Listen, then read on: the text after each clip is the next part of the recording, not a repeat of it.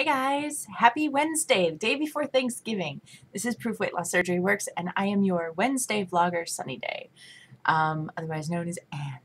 So the topic this week is Thanksgiving. How will you celebrate? Uh, you know, are you going to go to the gym? Are you going to cook? Are you going to have folks over? Are you going to eat like a maniac?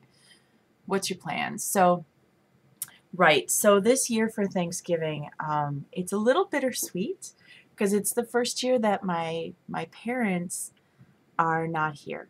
Um, they purchased last year a house in Florida for their winter getaway, their snowbird, whatever.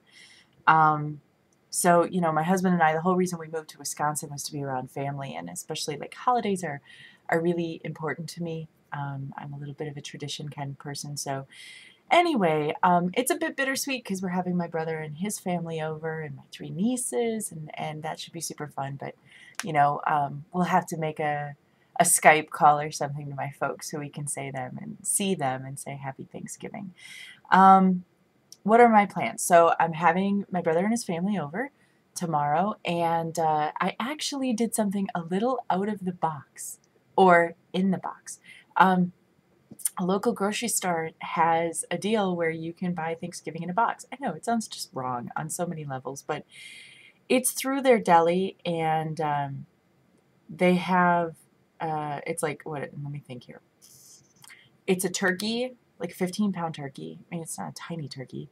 It's like a 15 pound turkey. There's like five pounds of mashed potatoes, stuffing, gravy, a dozen rolls, um, green bean casserole, uh, cranberry junk, and, la, la, la, and a whole bunch of pie two or three pies. It's a lot of food, right? I mean, certainly more than I'm going to eat. I think Thanksgiving is neat because, frankly, I can eat. There's turkey, there's cranberry junk, which, depending on the cranberry junk, I can or can't eat. There's definitely green bean casserole, which is always a delicious yum yum moment for me that I can eat. Um, obviously with the pie and whatnot, I'll probably make like a little egg face cake or something to uh, commemorate the occasion for me. Um, we had a, a, meeting at work on Monday, and I did have a small slice of apple pie. I did it. I did. It was tiny. It was about maybe that big, um, and I didn't dump. So, you know, I think I made there, there was pumpkin there too, and I just wasn't sure which way to go with that. But anyway, I don't think I'll have pie tomorrow. Um, but I'll definitely have some turkey. I mean, turkey's so good. I, what the heck, why not? And put some gravy on it. Hell yeah, dress that thing up. Um, so no, I mean, it's not, I don't think that, I think it's naive to, in, in my opinion, it's naive to um, skip holidays or to get annoyed because holidays are all about food look, if you cut it down to brass tacks, uh, from like an anthropological, uh, sociological uh, stance, food is one of those things that is uh, instinctual beyond the ages. Sharing of food with with people is a base. Um, I don't even know what the word I'm looking for. It's it's a it's a base celebratory method. It's a way that goes back to cavemen of saying, I like you or I love you here. Have some of this that I worked really hard for, right? Um, and Thanksgiving is, is a prime example of that. I am so happy you're in my life. I love you. Here, please come to my house, sit at my table, let me feed you. Um, and of course, the feeder in me is like, you know, I can't eat all this junk, but I can watch you do it kind of fun. I know that's really sick and twisted in my own way, but you know that's how I am.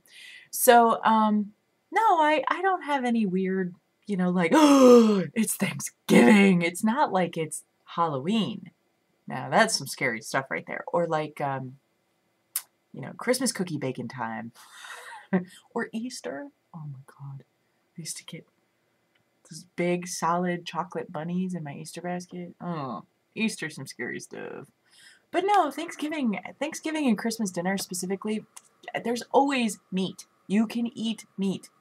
You can eat a fair amount of meat, even like six ounces, if if you're far enough, you know, me, I can I can eat between four and six ounces of meat. And that's pouch is a happy, happy little pouch right after that. I'm like, woo! You know, now of course there's the tryptophan in the in the turkey, which is always good and people pass out, but I found I only really passed out if I if I carved it up with the turkey. So anyway, I'm rambling. I've already been talking for five minutes. Those are my plans for Thanksgiving. Yes, I will exercise. I made sure that um, Thanksgiving is a dumbbell day, so I can actually do my exercise at home because I'm guessing my gym is closed.